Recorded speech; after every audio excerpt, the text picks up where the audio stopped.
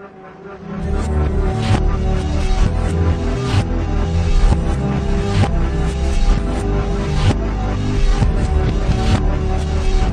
guys, and welcome to another episode of Among the Stars Celebrity Perfume Reviews. So today I'm extremely happy to be bringing you guys my review of By Invitation by Michael Bublé. So this perfume launched this year, 2016, and it is Michael Bublé's debut fragrance. So we actually found out about this fragrance, I would say probably January, February of this year. Um, we didn't find out what the name was. They kind of kept the name a big secret up until the launch, and then it kind of leaked a little bit beforehand. It was out a few places, um, and then once it launched, it was called by invitation. So this is, I will say I'm very surprised with this fragrance, um, and I'll tell you why when I get into the notes. But we'll go over box and bottle and all that stuff first. So the front of the box looks like this. It says by invitation by Michael Bublé, 100 milliliters eau de parfum. And I really just kind of like like how this box is. It is textured, um, and then I kind of like how this is in like this kind of shiny gold color. It says it's got just like the Michael Bublé logo on top, and then it just got a bunch of information on the bottom, and then just like your general flamm flammable hazardous stuff. Which I'm not sure why that wasn't put back here, and they felt the need to print it on the bottom. Who knows? So the bottle looks like this, and it says by invitation by Michael Bublé. Um, it's kind of this circular bottle, and then you have like the actual fragrance part is suspended. Like there's a gap underneath here. I was very surprised by this. Like I noticed it when I saw pictures of the bottle, um, but I didn't like for some reason I thought this was something else, and I don't know why it was like such a gap. But it's kind of like a bouncy metal, I guess. I mean, it's not super bouncy, but and then the lid looks like this. So you would think you either like pull the pin out or like it would just spray straight off, except for it comes off like this. You have just like a traditional gold sprayer on it. And then the other cool thing is there is a little hidden um, MB right down here. So there's that.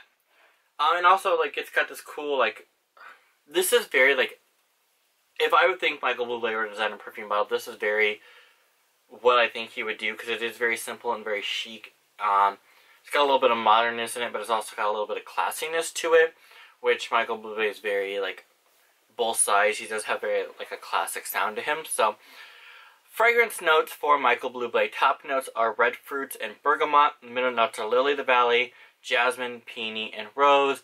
Base notes are sandalwood, musk, vanilla, and praline.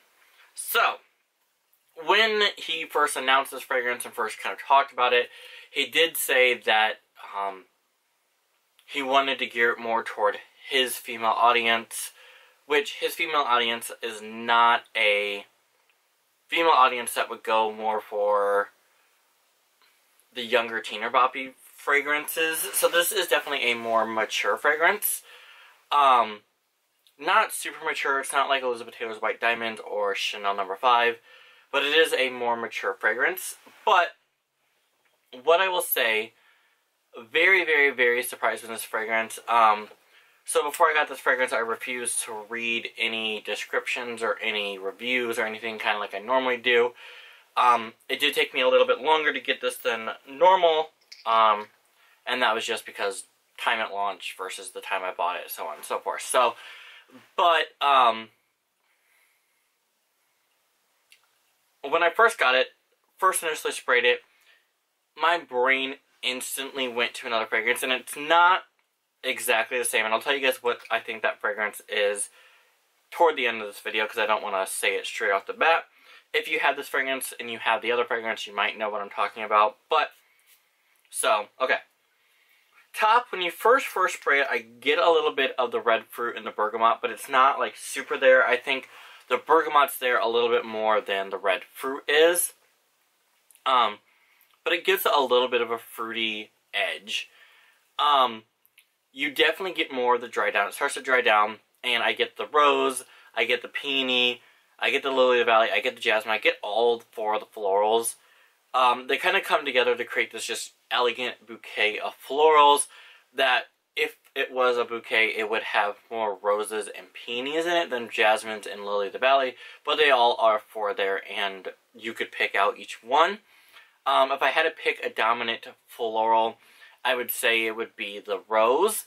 But it's not your typical, like, Viva La Juicy Rose or any of the other rose fragrances. It's a different edge of a rose, and I really, really like that. It gives like a whole nother element of the rose that's in here. So I do really, really like that. As it dries down, one of the standout notes of this fragrance comes out in that base, and it's the sandalwood. Definitely one of those standout notes. You get the vanilla, you get the musk, and you get the praline. I would say top four notes would be the sandalwood, the um, praline, the rose, and maybe the peony. You some of the other notes are going to kind of battle it out, but top three I definitely say would rose, sandalwood, and um, peony so I really, it's different. Um, I'm very surprised that the notes weren't changed at all. Um, because I posted on Instagram a really long time ago when we first found out about this, what like Michael Bublé perfume coming soon, and then I posted all the notes below it. I'm very surprised that none of them changed from that. But it is a more mature fragrance. It does last a really long time. I'd say probably about a 9 to 10 hour lasting time, and continuing from there it isn't overpowering and overdone. It's not choking out. It's noticeable. Um, people are going to notice you're wearing something, but they're not going to notice it from across the room. They're going to notice it if they're in a close environment. It is kind of a central fragrance, but I feel like with the name by invitation, that you would want it would be almost something a little bit more sensual, a little bit more um, soft. I feel like this is soft, but I feel like it is a little bit stronger than I would imagine something called, being called by invitation would smell like. But it has a very similarity to another fragrance, and that fragrance is Marc Jacobs Decadence. So, and I totally turned that around backwards. But Marc Jacobs Decadence does definitely smell like this. There's a there is a noticeable difference if you were to smell the both of them um, side by side this is hella strong in comparison to this. Um, but neither one is bad in my opinion. If I were to pick one over the other, I'd probably pick uh, by invitation only because with the fragrance that it is, it is a little bit easier to wear. It's not as super strong. It's not as with Decadence. I feel like when you spray it, one spray is enough. Two sprays, you're pushing it. And I feel like it's one of those fragrances that if you walk in the room, everyone's going to smell you and everyone's going to notice you, which is good. Some people like that, and I'm not saying that's bad. By Invitation is more of the office appropriate version of Decadence. Um, it's a little bit more fruity.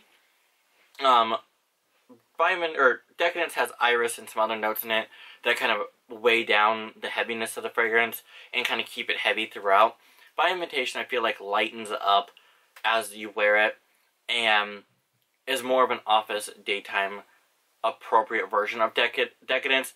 But that being said, I still don't feel like this is a daytime fragrance. I feel like this could be a signature fragrance. I feel could be definitely be someone's signature scent. Um, but I feel like it would take a very powerful woman to pull this off as our signature scent. Um, because it is it is a noticeable statement fragrance. Um, but I, just blows my mind how two completely different companies um, did this because a brand new fragrance company did this with Michael Bublé and had no you know correlation with Marc Jacobs or Coty or anything like that, and they created a fragrance that was almost spot on. And he's been working on this fragrance for a really really long time, so I don't feel like he smelled decadence because he said that he wanted to create a fragrance that he had never smelled before. So I wonder if he's ever smelled Decadence to be like, well, I didn't really create something that's never been smelled before. But that's just me. Um, I do really like this one. Um, very, very surprised it wasn't your typical celebrity fragrance, and it wasn't going to be... I felt like with him saying it was going to be a more mature fragrance, that we were going to get something that was going to be super powdery and super um, heavy and harsh and just I that's not what this fragrance is. The you know the praline adds a sweetness to the fragrance. I definitely feel like helps the fragrance out so so much in creating not your normal celebrity fragrance. And I would love to see Michael Bublé continue to do fragrances. I would love to see what he has because he worked on every process of this fragrance, and it was supposed to launch back in June, and they moved the launch back because he there was just certain things that, like the bottle he wanted to get right, and it wasn't right when he you know first did it, so he pushed it back. And just the fact that he continued to push it back until it was perfect shows a lot as a um, as a celebrity in a fragrance market because a lot of times celebrities don't put a lot into their fragrances. They kind of just like, oh well, yeah, that's good, and they just slap their name on it and let it go. So I really like that he kind of put pride and joy in this, and I would love to see him continue his line, and I would love to see other Michael Bublé fragrances come out, and maybe him create one that a younger audience would like, and another version that you know a, a daytime version versus like this isn't necessarily a nighttime version. I could see it being a daytime version as well.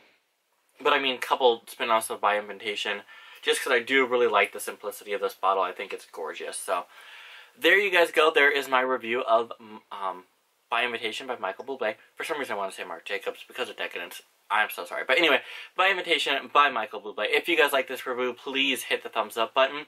Thank you guys so, so much for watching. If you like this video, subscribe. As always, guys, follow me on Twitter, A the S Perfume, and Instagram, Among the Stars Perfume. A link in the description below. As always, guys, thanks so much for watching. Bye.